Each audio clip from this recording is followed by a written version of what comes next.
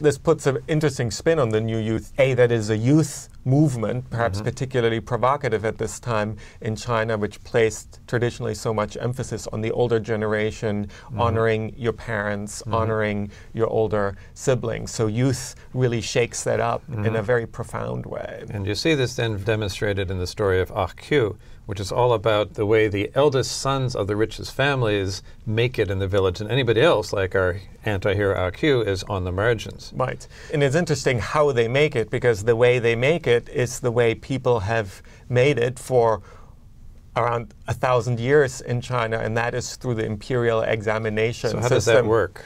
It started in the first decades of the Common Era, and it's an examination system that starts on the kind of local level.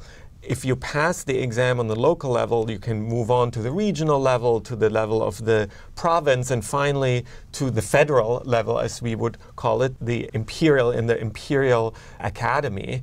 And it is the way to get into government service. So if you want to get any kind of government jobs, and these are often the most lucrative, the cushiest kind of jobs to get, you have to pass through this examination. And what does system. the exam involve? What's interesting and fascinating to me about it is that the exam essentially involves literature. So, not just literature in the narrow sense, there's also old texts that have to do with conduct and ritual, with divination, with historical records, what is called the Confucian classics. So, these are ancient texts that Confucius presumably edited. He didn't author them, but he presumably edited them, at the center of which is in some way a poetry collection, the classic of poetry. So for almost a thousand years, anyone who wanted to enter government service had to pass this incredibly grueling and rigorous exam in literature writ large. So you had to be able to write eight-line poetry, exactly. acceptably complicated, regulated verse. You had to know all those rules and right. be able to do it. Now, why would that be a way to train for government service? Well, I think on the one hand, of course, a high level of literacy, interpretation, writing skills are important, even today, one might say. But I think it was also the fact that such an exam was instituted at all was an attempt to create some form of meritocracy. Mm-hmm. It was an attempt to instill cultural values that were different from that of a warrior class, where just the power of the strongest mm-hmm. somehow dominated. So it was an attempt to institute a genuine bureaucracy based on a meritocratic system. So 2,000 years ago, they're inventing what in the United States will be the SAT, That's the right. GRE, the LSAT, right. the MCATs, right. all of these exams rolled into one. Yeah. And based on literature and history primarily. Right. Exactly.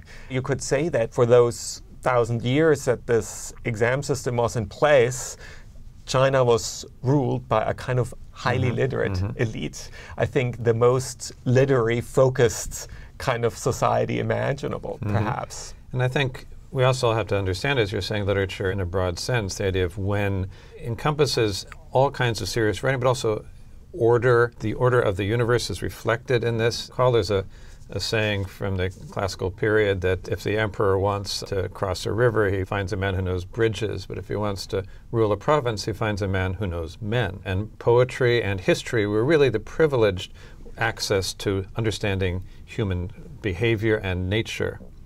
And I think poetry was also crucial for operating at court.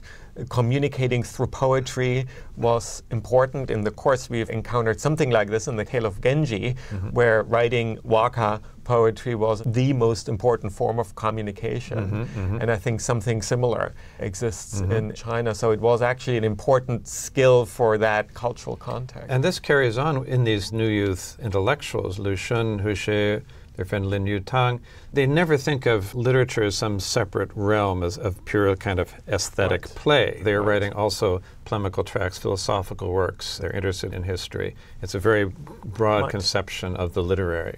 And at the same time, though, this exam system is sort of the background for the story of RQ, which is a biting critique because even though the original idea may have been meritocratic, it of course sort of degenerated into one more bastion for the privileged. So in the village in which the story of RQ takes place, it's the sons of the two richest families that can afford to send them to give them the kind of training. SAT prep. The SAT Years prep. worth E- of. e- exactly. And They it's the eldest son of the Right. most important families, right? Right. Not the mm. second son, not the Not the eldest daughter. daughter. It's going to be always that. And of course, you know, in Chinese families, traditionally, you would actually be known not necessarily by your proper name, but you are first son, second son, Right. third daughter. Right. That's how you're called. So the hierarchy is totally Right. inscribed just in how you call each other in the family. Exactly. So it isn't quite as meritocratic as it was perhaps Mm-hmm. meant to be.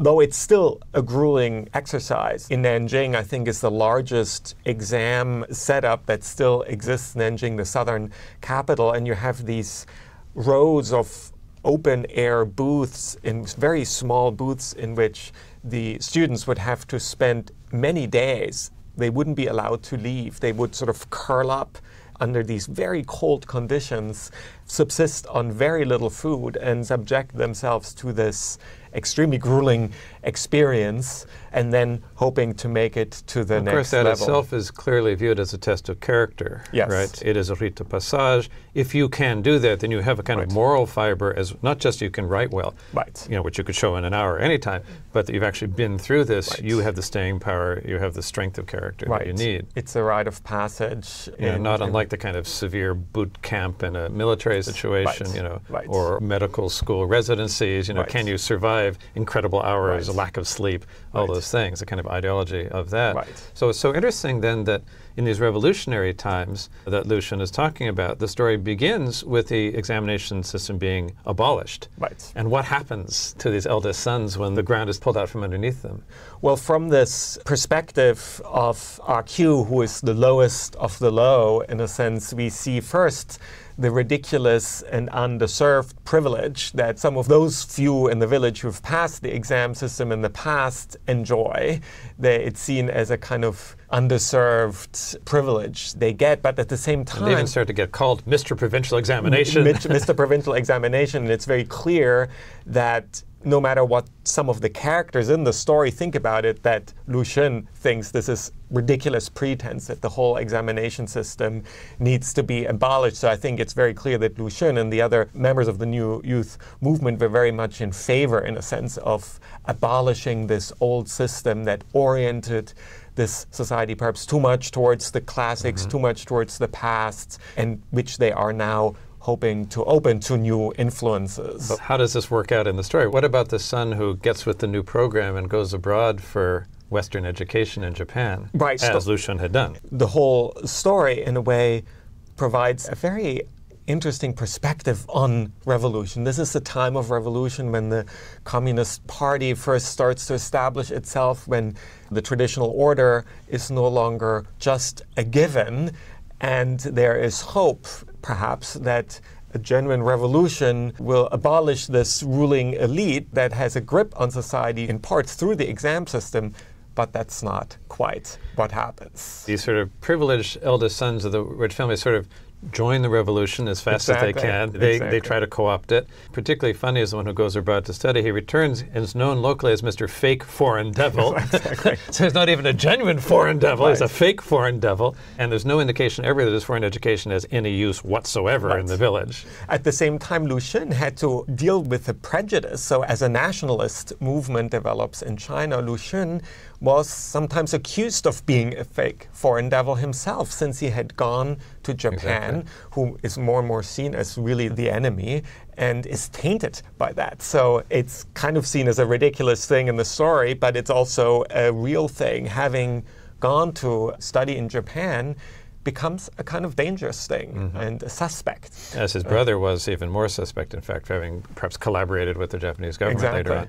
Even before that, he was still exploring these tensions and being very Right. skeptical towards a possibility of just instantly changing. Right. And he has a wonderful kind of literary sensibility portrayed here. So, particularly telling details like the queue and how it's used, mm-hmm. the sort of long pigtail that the men are supposed to wear, which had been imposed by the foreign Manchus when they took over China some centuries earlier, made to wear these. Now people are cutting them off. So you could recognize them on the street. That's right. right. So it's a humiliating kind of marker that foreign ruling elite imposes onto the That's right. Chinese. That's right. uh, so then it's a certain sense of pride to cut off, but then people start to compromise and they don't quite want to cut it off, so they just tie it up on the head a little bit earlier. They would do that in the summer. Anyway, now they tie it up earlier, and the perfect image of this kind of revolution that isn't quite a change if it's really just you tie up your queue a little Right. bit sooner. those who pass the exam are now the loudest revolutionaries. That's right. Uh, but then the revolution turns against them. They think they're co-opting it, but then they're getting bled by these essentially bandits who are using the revolution. Possibly even the magistrates who are in on the take, Right. know, refusing. Right. So the rich people in the village are getting robbed. And rather than deal with this, the magistrates